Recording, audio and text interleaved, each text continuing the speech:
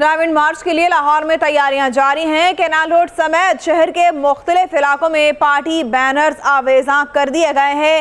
राविंड मार्च के लिए लाहौर में भी तैयारियाँ जोरों शोर से जारी हैं। केनाल रोड समेत शहर के मुख्तलिफ़ इलाकों में पार्टी बैनर्स आवेजा कर दिए गए हैं। जानते हैं नबील मलिक से। नबील बताएगा राविंड मार्च की लाहौर में तैयारियाँ कैसी जा रही हैं?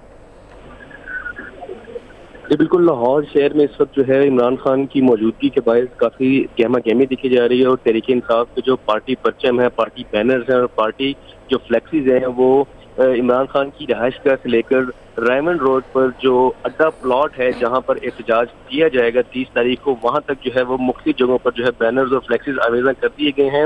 और इस हवाले से तरीके इंसाफ का ये कहना है कि लाहौरियों को मुतहरक करने की कोशिश की जा रही है ताकि पहले से मुतहरक जो पार्टी कारकुनान है, उनको मजीद मुतहरक किया जाए और इस सिलसिले में आज चेयरमैन तरीके इंसाफ इमरान खान शहर के मुख्तलिफ़ हिस्सों का दौरा करेंगे और लाहौरियों को अपने इस एहतजाज के प्लान से आगाह करेंगे, उन्हें मुतहरक करेंगे और उनको अपने हमरा तीस तारीख को जो है वो रायमंड की लेके जाएँगे। तमाम बैनर्स और फ्लैक्सीज जो हैं, ये केनाल रोड पर इमरान खान की रहायश गह से लेकर रायमंड रोड तक जहाँ पर ये एहतजाज किया जाना है, वहाँ तक ये तमाम बैनर्स और फ्लैक्सीज आवेजा कर दिए गए हैं।